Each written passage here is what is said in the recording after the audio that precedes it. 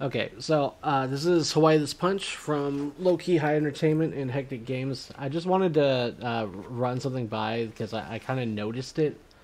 Um, but your settings, your um, engine scalability, right? Um, I'm gonna go back to Epic here because why the heck not? Um, but ever so often on the top left of your screen, you'll see this like red number. Uh, if you if you work in Unreal Engine long enough uh, on on one specific game or one specific scene or something, you'll see it.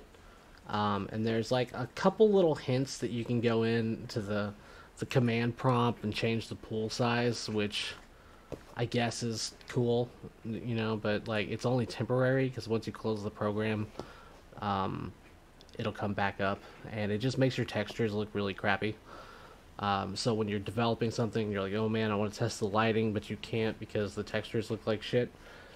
Um, so this is a this is a sweet short video on how to do this. Um, is that you go over to Windows, you go to your output log, and then you're gonna type in um, texture quality. Um, I believe it's streaming. No, maybe it's dot. Well, yeah. Oh no no no. Okay, this is it. Yeah. So you just type in texture quality uh, into the top, and then uh, mine says file scalability, uh, which if that's the case, you have to kind of find it yourself, um, which kind of sucks. But usually, it'll have a um, a location as to where your scalability is. Uh, because I'm using 5.1.1 in this example, um, I'm just going to go into my files here, and I keep everything in my, my UE folder, and it's got all my engines in it, right? So I'm going to double click uh, 5.1, because that's what we're using right now.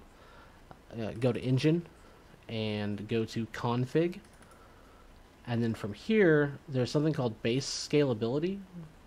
Right down here, you're going to scroll down just a little bit, and then uh, open that up, right? And then hit just uh, Control F to bring up the find, and you're going to type in this exact thing. Like I said, I just did it, so um, it's under streaming dot pool size. Hit that sucker, and you're going to be um, grafted with a couple of them, right? Um, so texture quality is zero. Uh, leave that at 400. It, it's going to be 400 by default. Just just leave it there. It's not important. Um, what you want is quality one, uh, two, or three, depending upon what you're using. Um, and what I mean by what you're using is when you go to the settings here, and you go to engine scalability. Uh, you have cinematic, you have epic, which is three, high, which is two, um, medium, which is one, and then low is the zero tier, right? So right now I'm on epic settings, so I don't really have to change. No, I don't have to change anything else, but number three, which uh, by default was at a thousand, so I just bumped it up to two thousand. Um, I think I'm actually wanting three thousand for that, uh, just because my computer can easily handle it. Um, I would suggest 3000, maybe 4 if you're running on epic settings and the cinematic doesn't blow you up. Um, but yeah, just just go into uh, the pool size area here, and then this is the only number you're changing. Is you know, so what I decided to do from one to cinematic is just doubling it. So originally it was at six. I changed it to twelve.